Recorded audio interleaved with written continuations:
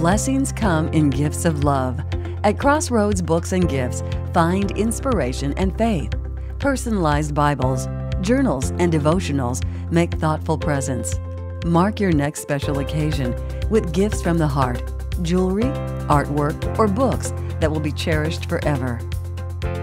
Be Christ for all in everything you do. Give a gift that means something more. Crossroads Books and Gifts.